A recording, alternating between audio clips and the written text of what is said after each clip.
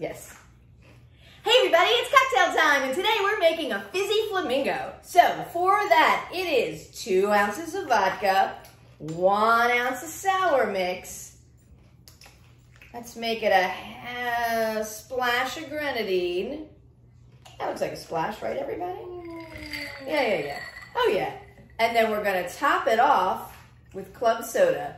And there you have a fizzy flamingo. Cheers.